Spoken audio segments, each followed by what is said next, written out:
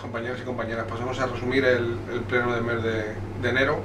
Es un pleno que no ha tenido ningún punto de orden del día, simplemente las, las propuestas de los grupos eh, políticos y poco más. Esto una vez más, eh, desde aquí ya lo hemos denunciado muchas veces, pero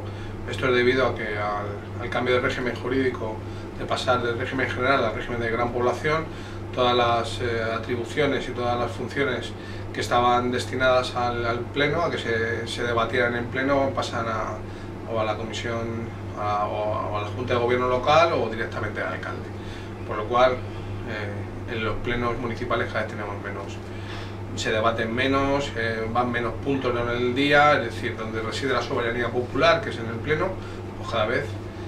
más vacío de contenidos. Es una lástima, pero es así. ¿Qué le vamos a hacer? Eh, en cuanto a las propuestas eh, políticas que han hecho los grupos, todos los grupos eh, de la oposición hemos llevado una, moción en apoyo a los afectados por la hepatitis C. Esta era una moción que nos encargó la,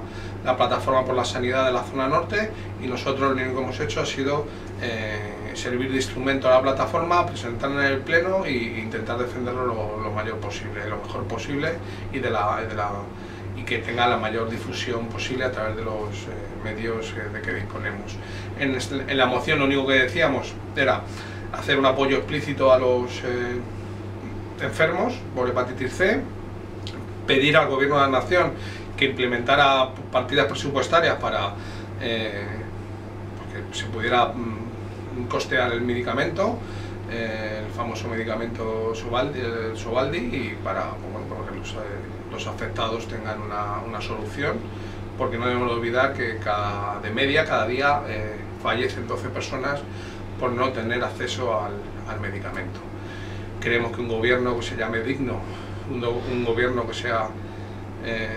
humanitario, debería de, tener en cuenta esta situación y debería de, de proteger eh, el derecho fundamental, que es el derecho a la vida el Partido Popular, ya no solamente a nivel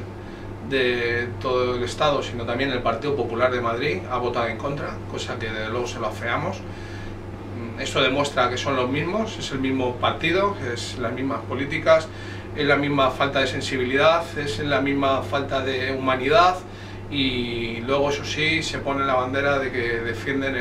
el, derecho a la vida del, del no nacido pero del nacido, cuando una vez que nace ya se olvidan de ti, ya no quieren absolutamente defender ninguno de, las necesidades vitales de la ciudadanía. Eh, esto es así. Otra de las propuestas que hemos llevado en esta ocasión conjuntamente con el Grupo de Izquierda Independiente, Izquierda Unida e Izquierda Independiente, elaboramos unas, eh, unas conclusiones de la Comisión de Investigación en la cual se iba a investigar los contratos de la empresa Whiter Music que pertenece a la trama púnica, esta trama que estaba dirigida por el señor Granado, por el que fue presidente, secretario general del Partido Popular y que por esa razón está en la cárcel, y el, señor Huertas, que era el administrador de la empresa eh, Music, y esa empresa contrató, eh, ha tenido contratos con nuestro ayuntamiento. A estancias de Izquierda Unida se constituyó una comisión de investigación, el Partido Popular la llamado de sugerencias, pero al final era una, una comisión en la cual ha servido para que nosotros eh, escucháramos a los comparecientes y pidiéramos documentación relativa a años, a años anteriores. ¿Y qué nos hemos encontrado? Pues nos hemos encontrado que en el 2011 y 2012 esta empresa, Whiter Music, que pertenece a la trama púnica, eh, obtuvo contratos del Ayuntamiento de San Sebastián de los Reyes para organizar conciertos sin tener eh, ningún soporte jurídico que lo avale. Es decir, sin pasar por ningún procedimiento administrativo de contratación pública, sin pasar por mesa de contratación, sin pasar por eh,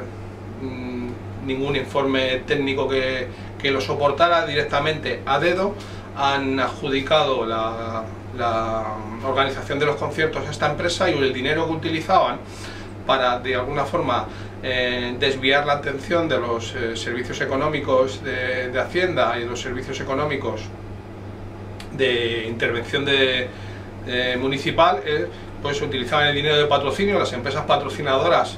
que empleaban, destinaban dinero para, bueno, para patrocinar las fiestas de Sanse, pues el ayuntamiento les decía a estas empresas que tenían que pagar a, a Wetter Music. Es decir, de esta forma eh, eludían el control y la fiscalización por parte de intervención y por parte de tesorería municipal. Entonces, las empresas, aunque no fuesen adjudicatarias, como era el caso, Wetter Music, aunque no fuese adjudicataria, eh, sistemáticamente ha ido organizando los conciertos y aunque no fuese, no hubiera una mesa de contratación que soportara esa adjudicación y aunque no hubiera absolutamente ningún procedimiento administrativo que soportara esa adjudicación. Es decir, han adjudicado a dedo la organización de los conciertos y esta empresa ha recibido dinero público por parte vía patrocinio eh, por un importe superior a 330.000 euros. Esto es una, nosotros entendemos que es la parte de la trama púnica que toca a San Sebastián de los Reyes. Eh, también mm, somos conocedores por informaciones periodísticas que el segundo de a bordo de la Comunidad de Madrid, el señor el consejero de presidencia, el señor Victoria, el Salvador Victoria, eh, también el juez que está instruyendo esta causa está de alguna forma en entredicho por algunas eh, escuchas de algunas conversaciones telefónicas. Esto constata que el Partido Popular eh, ha utilizado, el Partido Popular en Madrid ha utilizado esta trama para financiarse eh, de forma irregular y para cobrar comisiones a cambio de adjudicaciones, como en este caso en San Sebastián de los Reyes, adjudicaciones que se han hecho a dedo, adjudicaciones que eh, de nuestra parte pedimos, tanto en las conclusiones, pedimos la dimisión del concejal de, de festejos, del concejal de patrimonio y de concejal de contratación, puesto que todo esto nos parece muy regular y lo que vamos a hacer es estas conclusiones junto con la documentación que soporta eh, lo que decimos, puesto que mm, nosotros no nos, lo inventamos, sino que hay eh, soporte documental que justifica nuestras afirmaciones, la llevaremos al juez instructor del caso de la trama púnica para que la,